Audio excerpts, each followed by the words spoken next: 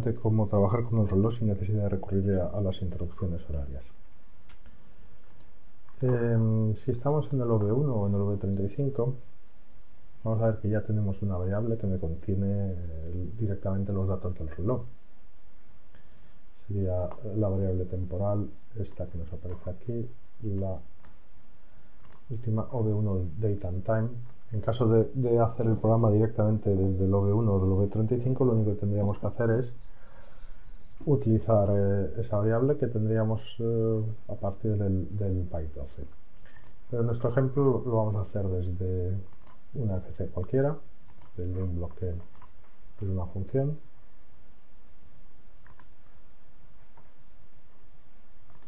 que vamos a llamar por ejemplo RTC. Entonces, en esta FC lo primero que tendremos que hacer es crear una variable en la que depositar el, reloj.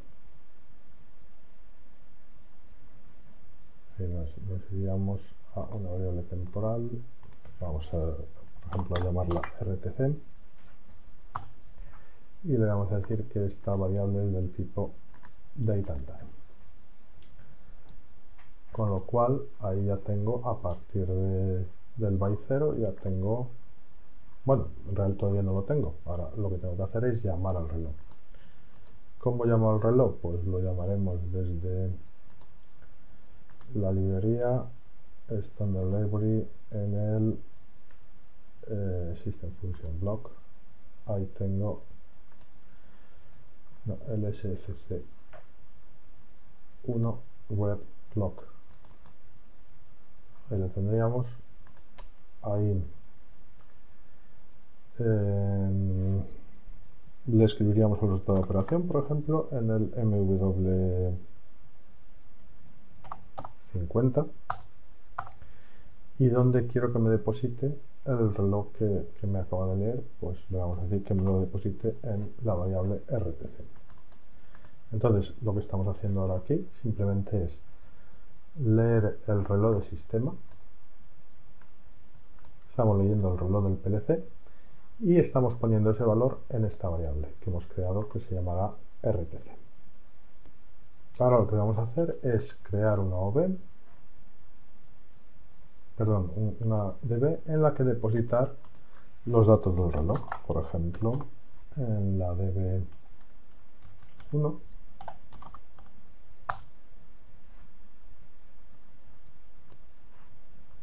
Aquí vamos a crear una variable que vamos a llamar, por ejemplo, RTC, con una estructura tipo array de 8 elementos. hemos metido con un valor inicial eh, hexadecimal a partir de 0 perdón. Armadilla y de tipo byte. Ahí tendré definida la estructura y aquí es donde voy a meter los datos del, reloj. Pues recordemos que el reloj para meter los datos del reloj voy a necesitar 8 bytes. Y que me van a tener además voy a tener el primer byte voy a tener el año después el mes, el día, la hora, entonces necesito estos bytes del 0 al 7 para almacenar los datos del, del, reloj. Y esos son los que acabamos de, crear la estructura en el DB1. Aquí en principio en el DB1 hemos terminado. Vale, cerrado. Y ahora en mi FC1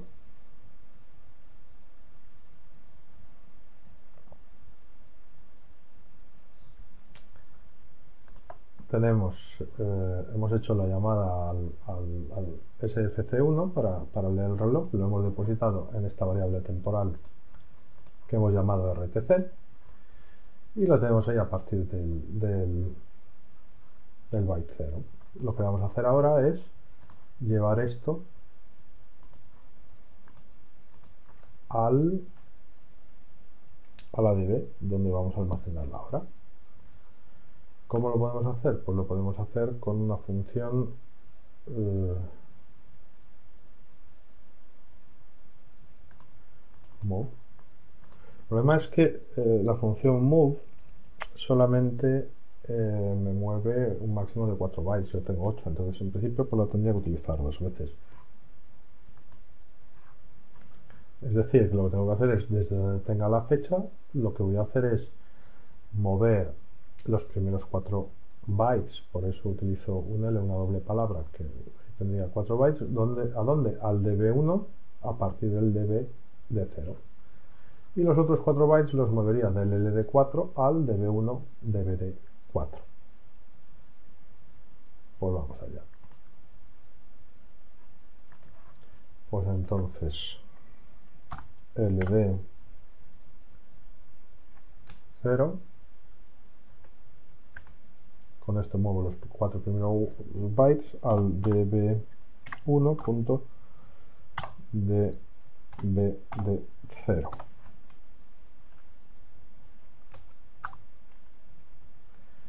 y volvemos a meter la función move. Para mover los otros cuatro es, será ld4 los siguientes cuatro bytes a dónde al db1 db4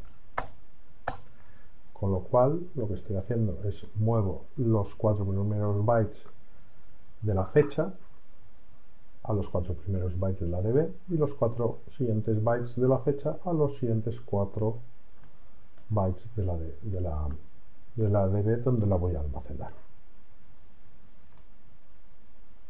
Ahora ya podría ver la fecha, lo único que necesitaría sería crear una tabla de variables donde, por ejemplo, pues tendría que en, aquí visualizaría el db1.db por ejemplo el byte 0 que me va a mostrar pues en principio lo vamos a poner en, decimal este me mostrará el año. Pues el db1 db b0 pues va a mostrar el, el mes y así sucesivamente si me interesa si yo quisiera controlar o visualizar eh, la hora y el minuto, por ejemplo, pues que tendría que visualizar? Tendría que visualizar el DB1, el DW3. Porque, pues, a ver, DB, perdón, sí, DB W3. ¿Qué estaría visualizando aquí entonces? pues estaría visualizando eh, bueno, hay, estos no los tenía que poner en decimal, los tengo que dejar en x porque está en El reloj está en, BCD ay, perdón, ahí he puesto vale pues ahora le el reloj está en, BCD, por lo tanto lo tengo que visualizar en hexadecimal. Si ahora hacemos una carga de todo,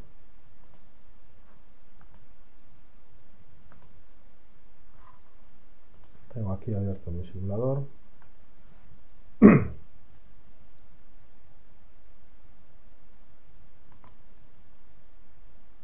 Y voy a vigilar la tabla de variables.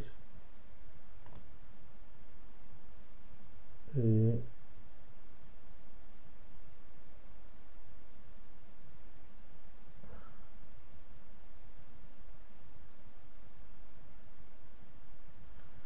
algo está terriblemente mal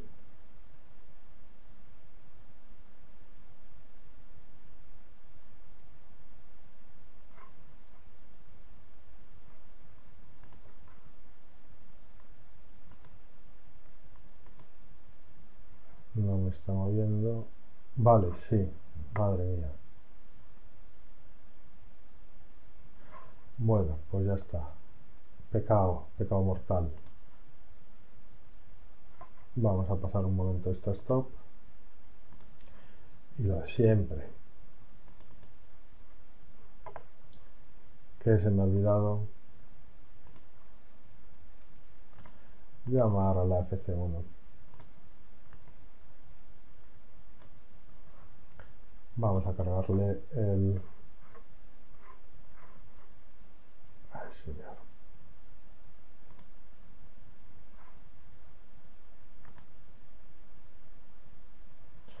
Lo ponemos en run, el sistema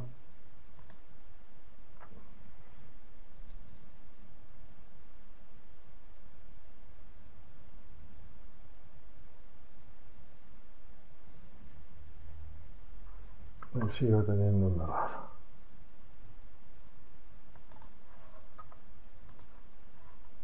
Bueno, para evitar problemas vamos a hacer una carga completa. Un segundo. Vale, tengo ahí.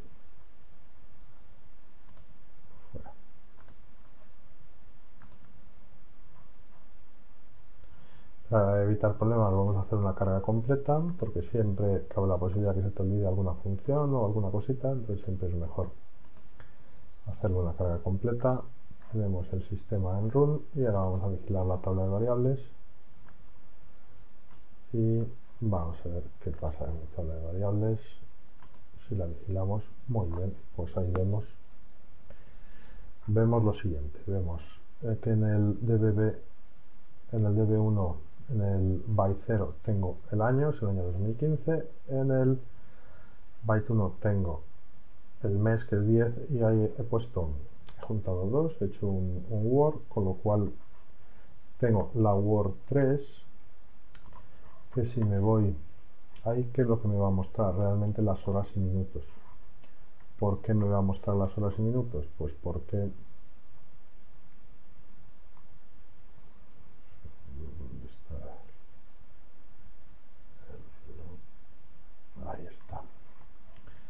la hora está a partir del byte 3 y como he dicho que quiero coger la word, como cojo la word estoy cogiendo el byte 3 y el byte 4, es decir, la word 3 coge el byte 3 y el byte 4, es decir, me va a coger las horas y minutos. Si vemos en la tabla de variables, ahí lo tengo, ahora me pone las 0.17 para ver que no es mentira, pues ahí vemos que son las 0,17. Si metiera aquí, por ejemplo, la de segundos, sería el db1 punto db. Es el byte 5 y ahí tengo mis segundos como van sincronizados con el reloj del ordenador, uso el reloj del ordenador cuando está en el simulador, es, la hora que, coge el sistema y ahí veo que realmente ya tengo en mi, en mi DB, tengo metido los datos del reloj. Y recordemos, lo tenemos que ver en, en hexadecimal porque este dato está en BCD.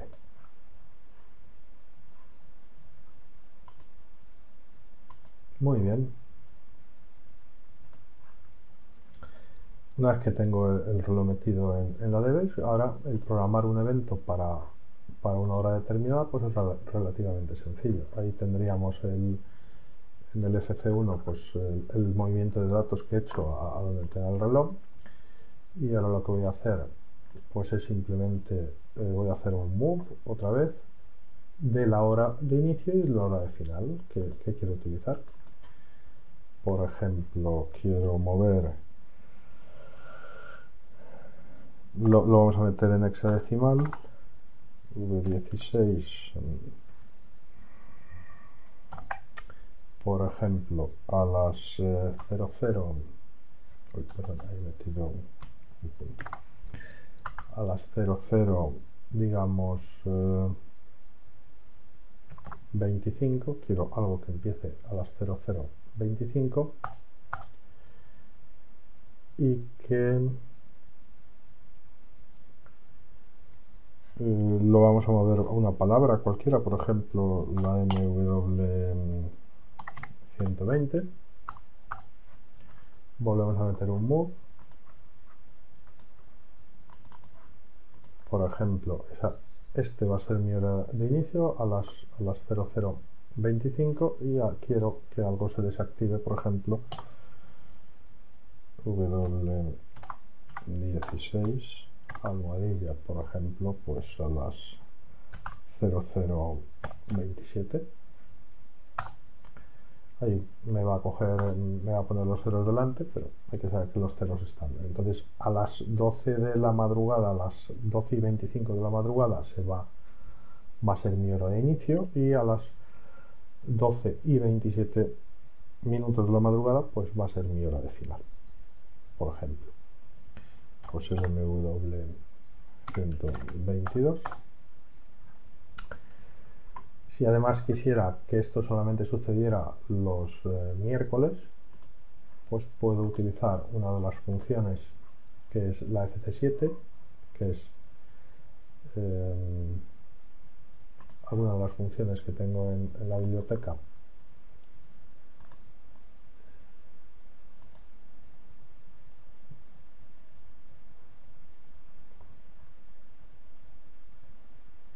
no es en de sistemas, sino en IAC.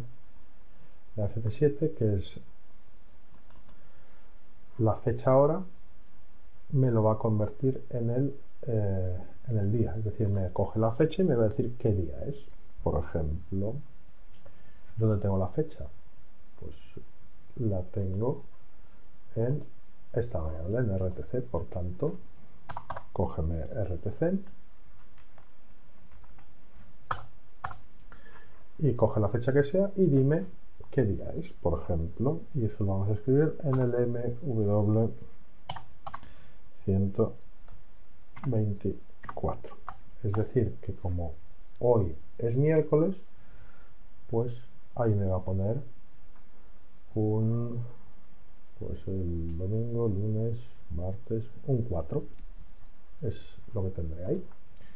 Pues ahora puedo hacer una comparación. Por ejemplo, en entero. Si MW 124 vale 4, es decir, si hoy es miércoles, entonces voy a comparar estos dos que tengo, es decir, voy a hacer ahora una comparación también con mayor o igual. Y quién el db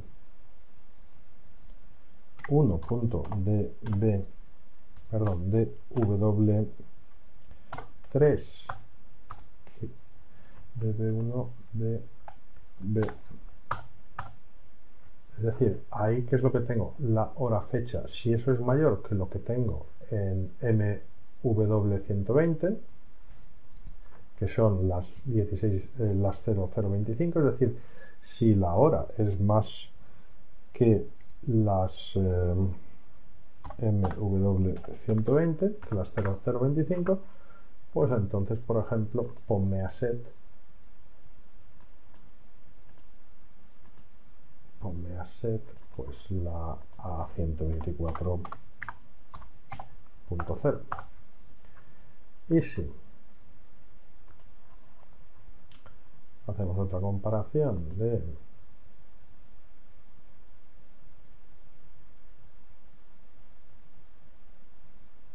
No, esto realmente más que mayor igual, tendría que hacer una comparación con igual mejor. Bueno, un segundo, lo arreglamos, porque si no me va a estar seteando. Entonces, esta control control V y aquí control C control V y en este lo comparo con el MW 122 este lo elimino. Entonces cuando esa hora sea igual a esto me va a setear esa salida y cuando sean las 0.27 me va a resetear esa misma salida, la 134.0. ¿Vale? Y vaya, llego tarde. Entonces vamos a... Voy a darme unos minutos más, vamos a hacerlo a partir de las 0.30 y que se desactive a las 0.32 porque si no, no me va a dar tiempo a... Se me ha ido el tiempo y no... No me ha dado tiempo a... Vamos, que se me había pasado la hora. Vamos allá. Pues entonces guardamos esto y vamos a hacer la carga de todo en el PLC. Cargamos todo.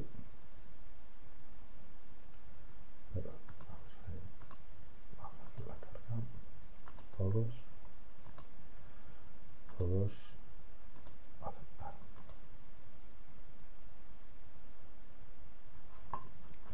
Muy bien, vamos a ver el... Bueno, ahí está vigilando, ya verlo. Y aquí vamos a, a ver la salida, perdón, la salida a ver 124 para ver si se me activa. Y aquí podemos realmente no, no tenemos nada que ver con eso. Y viendo el FC1 vigilando el FC1 pues ya lo tendríamos todo resuelto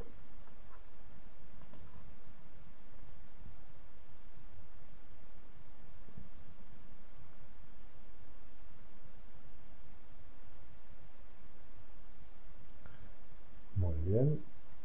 Ahí vemos que hoy es jueves, por lo tanto esto es cierto. Y ahí estamos viendo, vamos a ponerlo en, en hexadecimal, vemos que son las 0027. Esto se me va a activar a las 030. A las 030 en principio se me va a activar ese bit. Podemos ver el reloj del ordenador, que es el que tiene la hora buena. Vamos a dejarla ahí. Entonces cuando sean las 0.30 pues volveremos casi a las 0.30. Eso se tiene que activar. Voy a pausar un momento.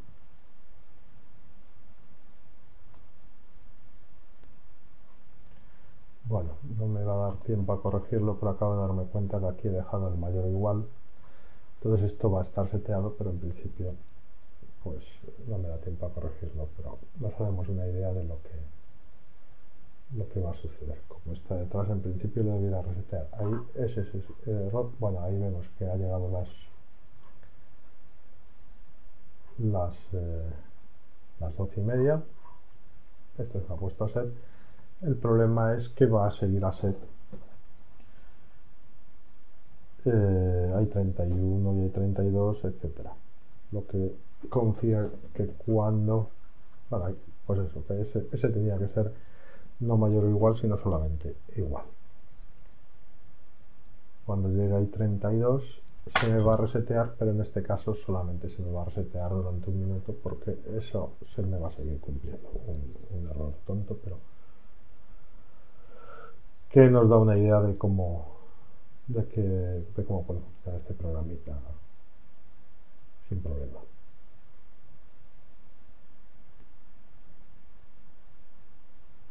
Vale, ahí lo tenemos. En cuanto sea ni 32, en principio se va a resetear. Vemos que se ha reseteado, pero como ha cometido este error del 30, el 32 y el 30, pues, pues eso, en cuanto sea ni 33, pues este va a caer y, es en principio, vamos, que se, me volverá a setear. Como decimos, eso tenía que haber sido un mayor Tenía que haber sido simplemente igual. Bien, vamos a hacer un resumen de cómo hacer una llamada al, al reloj de tiempo real. En este caso lo hemos hecho a través de una FC1. En esa FC1 hemos eh, creado una variable temporal que he llamado RTC en formato date and time. Y lo que he hecho es con la SFC1, que es leer el reloj de sistema, lo que, lo que he hecho ha sido leerlo y escribirlo en esta variable. Después he creado una DB en la que almacenar esos datos de reloj con una estructura array de, de 8 elementos en formato byte. Y en ella he depositado mediante un move, bueno, realmente mediante dos move, le he enviado los datos de, de, esta, de la variable esta temporal que tengo aquí con, con los datos del reloj. Entonces aquí he movido los cuatro primeros bytes a los cuatro primeros bytes de la ADB y con este otro he movido a partir del byte 4 a partir lo he movido a partir del byte 4 de la ADB. Después eh, voy a almacenar mi, mi hora a la que quiero que se inicie o que se desconecte algo, lo voy a almacenar en dos palabras. En MW120 voy a almacenar la hora de inicio, por ejemplo, y en la MW122 la hora de final, y le escribo ese valor de hora en formato hexadecimal. Por ejemplo, si quisiera que algo se activase a las 15.30, pues le pondría 1530 y si quisiera que se desactivase a las 22.32 pues le pondría simplemente 22.32 con esta función la eh, fecha a día de la semana lo que hago es obtener un día de la semana. Es decir, me va a coger el reloj del 13 y me va a escribir aquí el día de la semana que sea. Si es un 1 pues me estará diciendo que es domingo si es un 2 pues lunes, martes y así sucesivamente y con eso lo que puedo hacer es jugar con la comparación de tal forma que si el día es el que yo quiera, el que yo haya escrito aquí, pues si pusiera, podría haber puesto una palabra más, entonces hacer los ajustes a través de un terminal táctil o algo de ese estilo, desde una escala. En este caso, si el día es miércoles, estoy comparando resultado de la semana, y si el día es miércoles, entonces si la hora es mayor que... Bueno, ahí he vuelto a dejar el ahí tendría, dejado el, el igual, bueno, ahí, tendría que haber puesto un, igual, si la hora es, es, igual a la que yo haya escrito en la MW 120, se me, se me pondrá set un bit, y si la hora es menor, perdón, y si la hora es igual a esta otra que tengo, la que ya he escrito en el MW 122, me resetará ese bit. Ejemplos como a partir de esto, pues en principio pues se pueden hacer docenas de